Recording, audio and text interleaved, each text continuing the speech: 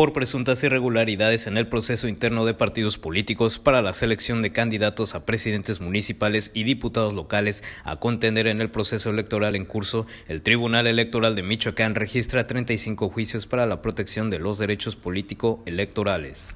En entrevista, el magistrado presidente del TEM, Ignacio Hurtado Gómez, dijo que entre los asuntos destacan temas relacionados con las candidaturas comunes, la consulta en Ahuatzen y alrededor de 27 recursos de militantes del PRI, inconformes eh, por el procedimiento. En el caso de los asuntos del PRI, estamos valorando el tratamiento que le vamos a dar a esos asuntos, porque tenemos dos opciones entrarle directamente o privilegiar la instancia intrapartidaria para que sean ellos quienes resuelvan. Ante el inminente vencimiento de plazos y el inicio del periodo de registro de candidatos a diputados y presidentes municipales entre el 27 de marzo y el 10 de abril, dijo que están atentos a los tiempos y que se prevé resolver los asuntos con oportunidad.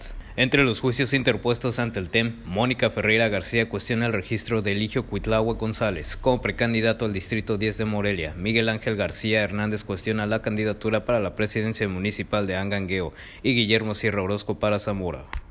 Juan Pedro de los Reyes Aguilar, aspirante diputado por el Distrito 17 de Morelia, Luis Natividad Estrada Flores, aspirante a la candidatura para el gobierno municipal de Puruándiro, y Daniel Escobar López de Numarán, solicitan al TEM que instruya a la Comisión Nacional de Procesos Internos del PRI para que les haga conocer las causas por las que no fueron admitidos. En total van 27 denuncias contra el partido tricolor.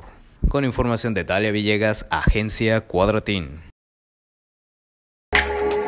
Grupo de Oro presentó